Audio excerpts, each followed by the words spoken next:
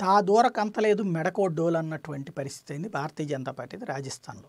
ఓ పక్కన భారీ తేడాతోనే అపజయం జరిగింది.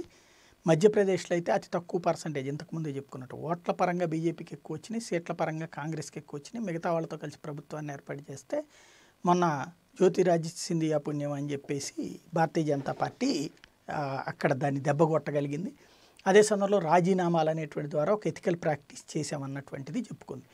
కర్ణాటకలో కూడా అట్లాగే వాళ్ళతో రాజీనామాలు చేయించి ఎన్నికలకు వెళ్ళింది కాబట్టి ఇక్కడ జరగాల్సింది. ఈలోపు రాజస్థాన్. రాజస్థాన్లో గ్యాప్ చాలా పెద్దది ఉంది దాదాపు ముప్పై ఐదు మంది అవసరం అవుతారు ఎందుకంటే ఇండిపెండెంట్లు గెహ్లాట్కి సపోర్ట్ చేస్తున్నారు తను వ్యూహాత్మకంగా చేస్తున్నారు. అయితే అందులో నుంచి పైలట్ బయటికి రావడం. ఈ వచ్చినటువంటి పైలట్ అటు ఇటు కాకుండా ఇరుక్కుపోయింది ఎక్కడ అంటే అక్కడేమో భారతీయ జనతా పార్టీ వసుంధర రాజ్ సింధియా చెప్పు చేతల్లో నడుస్తుంది. నరేంద్ర మోడీ అమిత్ షా ఆమెను పక్కన పెడదాం అనుకున్న ముప్పై నలభై మంది ఎమ్మెల్యేలు ఆమె పక్షానే ఉన్నారు. ఇక్కడ పైలట్ని పక్కన పెట్టి అంటే పైలట్ వచ్చేటప్పటికి బీజేపీలోకి రాకుండా సొంత పార్టీ పెట్టుకోవాలన్నటువంటి ఏదో ఒక కూటమి పెట్టుకుంటే దానికి బయట నుండి మద్దతు అనేది కోరడం. దానికి అటు ఫరూక్ అబ్దుల్లా లాంటి వాళ్ళు సహకరించడం.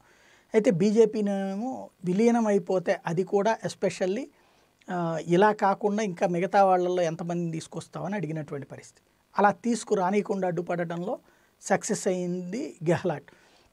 ఇంకో పక్కన నిన్న చివరికి తన వల్ల కావట్లేదని అర్థమైపోయాక సచిన్ పైలట్ ప్రియాంక వాద్రా నేతృత్వంలోని త్రిసభ్య కమిటీతో మాట్లాడుకుని చర్చించుకుని మళ్ళీ పార్టీకి సపోర్ట్ చేయడానికి సిద్ధపడుతున్నారు దాని మీద పైలట్ ఏవైతే ఎలిగేషన్స్ చేశారో ఆ మూడిటి మీద విచారణ కోసం అని చెప్పేసి ఒక కమిటీ వేశారు. ఇక్కడ ఏంటంటే రాహుల్ గాంధీ నిద్రపోవడం లేదా రాహుల్ గాంధీ థాయిలాండ్లో ఉండటం లేదంటే రాహుల్ గాంధీ దీన్ని లైట్ తీసుకుంటున్నటువంటి వేళ ఇక పార్టీ కార్యకలాపాలు నెత్తిన పెట్టుకునేటువంటి కార్యక్రమం సోనియా గాంధీ కూడా రెస్ట్ ఇచ్చి ప్రియాంక వాద్రా తీసుకున్నట్టు కనబడుతోంది. అందులో భాగంగా జరిగినటువంటి తొలి ఎత్తుగడ సక్సెస్ అయిందన్నటువంటిది ఆమె అభిమానులు సంతోషం వ్యక్తం చేస్తున్న విషయం.